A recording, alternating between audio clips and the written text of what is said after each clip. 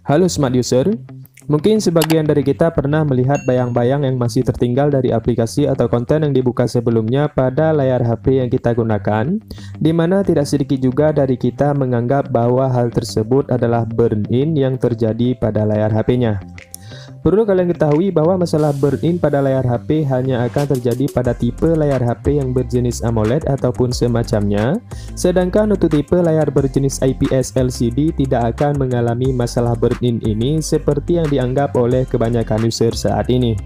Adapun masalah yang mungkin akan terjadi pada layar berjenis LCD adalah Transient Image Persistent atau disingkat dengan TIP. Masalah inilah yang sering dianggap oleh kebanyakan user sebagai burn-in ataupun shadow pada layar HP-nya yang berjenis IPS LCD.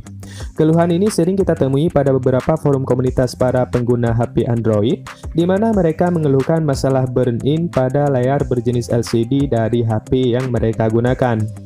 Perlu diketahui juga bahwa tipe layar IPS LCD dan AMOLED sangat jauh berbeda, di mana untuk layar berjenis AMOLED ataupun LED ini menyalakan piksel-pikselnya untuk memunculkan tampilan pada layar HP tanpa menggunakan backlight. Sedangkan untuk layar berjenis IPS LCD ataupun layar yang berjenis LCD membutuhkan backlight untuk menampilkan tampilan dari layar HP-nya. Sedangkan untuk penyakit yang akan dialami pada layar LED ataupun AMOLED yaitu burn-in dan shadow bersifat permanen alias tidak bisa kita sembuhkan lagi. Sedangkan untuk penyakit layar berjenis LCD adalah TIP yang sifatnya tidak permanen alias kita bisa menghilangkannya. Adapun untuk penyebab terjadinya TIP pada layar LCD di HP tidak ada alasan yang pasti, namun pada umumnya TIP ini terjadi saat kita menyalakan layar HP dengan gambar statis dalam jangka waktu yang lama. Sehingga kristal yang ada pada layar LCD masuk ke dalam relax state yang dapat meninggalkan sedikit gambar yang sebelumnya ditampilkan. Nah, dalam video ini saya akan membagikan cara bagaimana mencegah transient image persistent ataupun TIP pada layar HP yang berjenis IPS LCD di mana hal ini bisa menjadi pencerahan bagi kalian para user HP yang layarnya masih menggunakan LCD agar tidak panik ataupun resah saat masalah TIP ini terjadi pada HP kalian. Khususnya hal ini saya tujukan kepada para pengguna HP Android yang sering mengeluhkan masalah burn-in ataupun shadow pada layar HP yang bertipe IPS LCD agar tidak lagi menganggap masalah tersebut sebagai burn-in ataupun shadow yang sifatnya permanen. Nah, jika layar HP kalian belum menunjukkan gejala TIP ini maka ada beberapa hal yang harus diperhatikan sebagai bentuk pencegahan agar masalah TIP ini tidak terjadi pada layar HP yang kalian punya. Adapun tips yang pertama adalah dengan menghindari penggunaan wallpaper yang sama dalam jangka waktu yang cukup lama. Karena jika kita terus menggunakan gambar yang sama sebagai wallpapernya, maka gejala TIP ini kemungkinan besar akan terjadi pada layar HP yang kalian gunakan.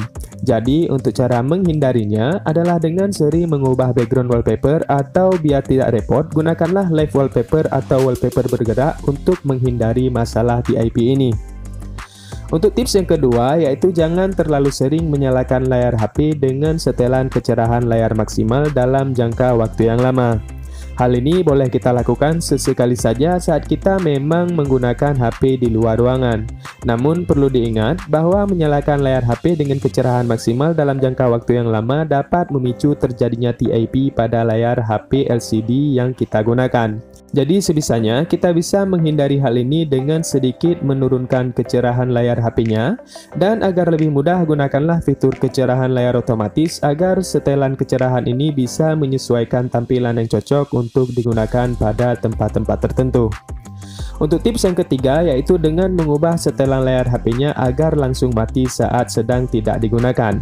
Dan kita usahakan untuk mempersingkat waktunya sesuai dengan kebutuhan kita.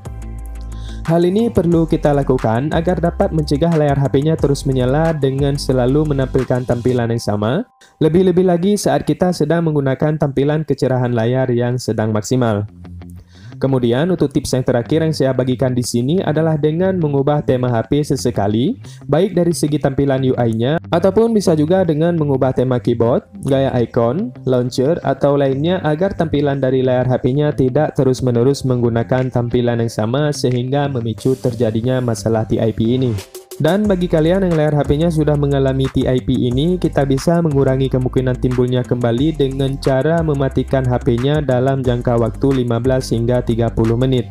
Ataupun bisa juga kita matikan HP-nya lebih dari satu jam, agar masalah TIP ini bisa berkurang bahkan hilang dari HP yang kita gunakan. Ataupun kalian bisa juga mengurangi atau menghilangkan masalah TIP ini dengan mengubah setelan warna dari HP yang bisa kita ubah melalui setelan tampilan yang ada dalam aplikasi setelan bawaan HP-nya dan kita atur sesuai dengan selera kita masing-masing sampai menemukan setelan yang cocok untuk mengurangi masalah TIP ini.